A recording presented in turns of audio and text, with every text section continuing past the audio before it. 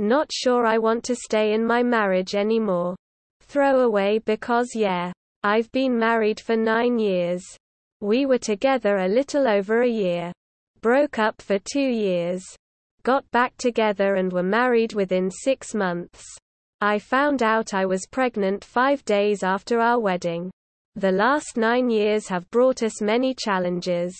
We took in raising my teenage sister while my mom was in prison and then took her in also when she was released. They've been gone several years now. My sister living with us caused lots of drama. He always expected her to be doing something productive. No downtime at all or she was being lazy and nothing she did was ever good enough. He was forced into an extremely stressful position at work and it has completely changed him. He is just volatile. If something doesn't go the way he expects, he just explodes. I feel like he's always pissed about trivial things with me and our two children.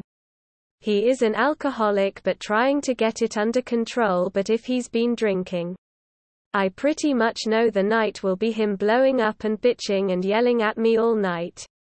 There's no stopping that train. I have to just shut up and listen or it just gets worse and worse. I can't do this anymore. Once he's mad, there's no turning back, no matter what I say or do.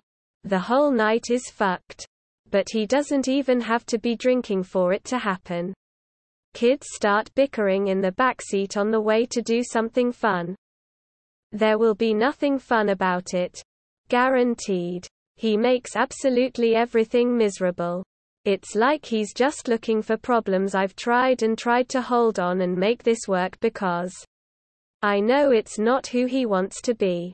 We talk about getting help but he blames it all on his job and says he doesn't have time to see a doctor, psych, therapist or anyone. Then he blames me for not having the plan to fix it for him. I love him but I just really can't do this anymore. I don't want to be miserable anymore. I don't want to feel like I'm living my entire life based on him. I just don't know how to get out of this without him flipping shit and causing me more misery. Co-parenting with him or him killing himself which he has threatened many times. Also, IDK how to support myself and my kids. I've taken all the load of dealing with the bills and everything else.